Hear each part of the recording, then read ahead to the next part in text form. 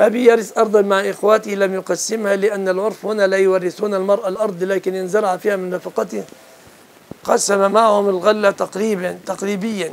هل يجوز؟ لا يجوز إلا برضا الورثة كلهم. أما كونكم تحرمون المرأة فذي كبيرة من الكبائر.